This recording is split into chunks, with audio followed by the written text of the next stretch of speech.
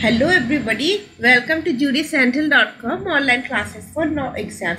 So today I will be discussing with you the WhatsApp India legal battle about why WhatsApp sued India and also I will be discussing the IT rules against which WhatsApp has sued India. So let us see the case. So why the case? Let us understand the background first. Social media giant WhatsApp on Tuesday filed a legal challenge against the Indian government protesting before the Delhi High Court new IT rules that would require messaging services to trace the origin of particular messages. So this is the issue of WhatsApp that the Indian government wants by the new IT rules to uh, trace the origin of a particular message. The case asked the Delhi High Court to declare that one of the new IT rules is a violation of privacy rights in India's constitution since it requires social media companies to identify the first originator of information when authorities demand it.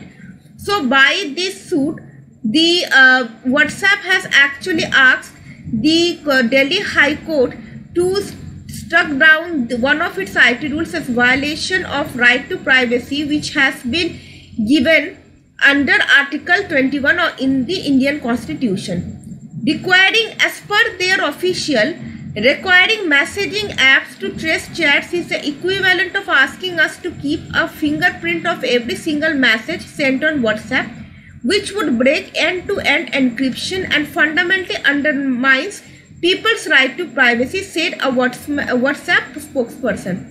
So, if the IT rule is followed, then it would amount to end-to-end -end encryption, which would fundamentally undermine, undermine the people's right to privacy, according to their spokesperson. Then we'll understand what the rule wants from WhatsApp.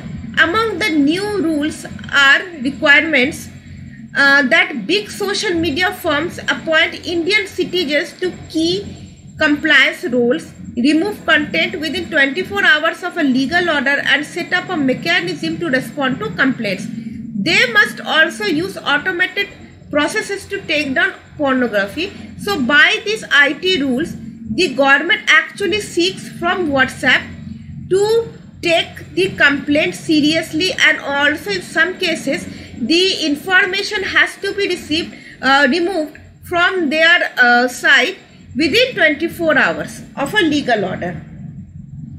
The controversial rule. Now let us understand the rule against which WhatsApp has sued India. Under the recently notified Information Technology Intermediary Guidelines and Digital Media Ethics Code Rules 2021. So remember this rule.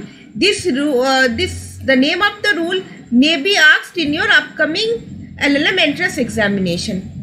Social media intermediaries with more than 5 million users and providing messaging services will have to enable identification of the first originator of a problematic content that may harm the country's interest and several other provisions described in the rules.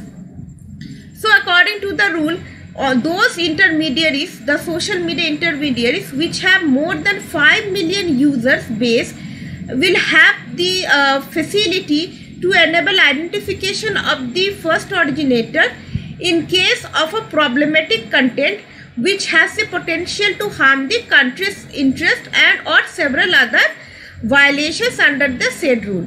The social media intermediary will have to do this in response to a legal order by a competent authority under section 69 of the IT Act.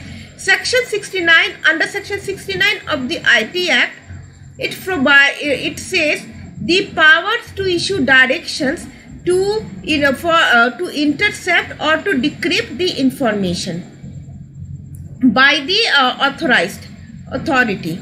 Then uh, proviso rule 4 so the proviso rule 4 of the said rule says provided also that where the first originator of any uh, information on the computer resource of an intermediary is located outside the territory of India, the first originator of that information within the territory of India shall be deemed to be the first originator of the information for the purposes of this clause. So according to this rule 4, the provision of rule 4 says that in case if the first originator is located outside India, then uh, the uh, WhatsApp has to provide the information about the first originator within the territory of India which has disseminated the information. Then uh, traceability rule violates right to pri privacy. So let us understand how. WhatsApp which is owned by Facebook has said before that it will not break encryption as it undermines the privacy of its users. India is WhatsApp's largest market with over 400 million users. Traceability violates user privacy and by requiring private messaging services like WhatsApp to keep track of who said what and who shared what for billions of messages sent every day. Traceability requires messaging services to store information that can be used to ascertain the content of people's messages, thereby breaking the very guarantee that end-to-end -end, uh, encryption provides. So the end-to-end -end encryption provides complete privacy. So if the traceability rules is applied uh, to, uh, I mean, to WhatsApp, then it would amount to violation of privacy because WhatsApp then have, have to keep the information about who said what and who shared what and also about the billions of messages which are sent every day. The WhatsApp complaint cites a 2017 Indian Supreme Court ruling supporting privacy in a case known as the Puttaswamy judgment. So in its uh, suit, in its petition, it also mentions uh, the famous case law of case Puttaswamy versus Union of India in which right to privacy was held as a right to life. Then let us understand what is encryption.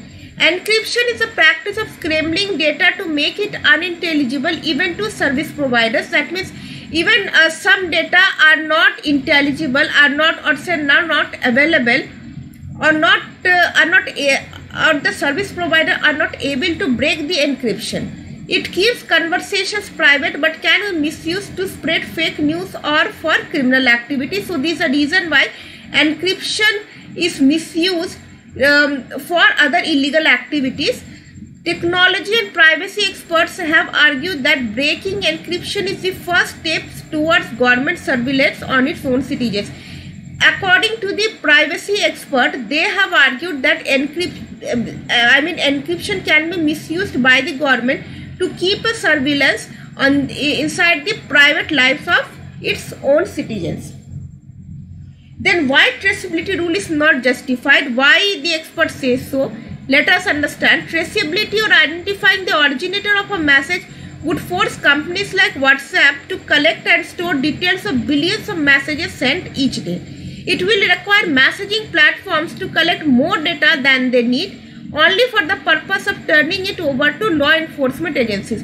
So traceability will only increase the workload of the social media giant uh, like WhatsApp or any other because it has to store details of billions of messages which are sent each day and also according to experts finding the first originator would not be an accurate way of identifying the information originator because people commonly see content on websites or social media platforms and then copy and paste them into chats. It would also be impossible to understand the context of how it was originally shared. So it is not possible to trace the first originator because generally what people does they just copy and paste the message in their chat box and then forward. So these are reason why it is not possible to um, I mean find the first originator. So this is the end of the session and I hope you all have enjoyed it. Do not forget to give a big thumbs up and also like, share and subscribe to the channel. Till we meet the next time. Thank you.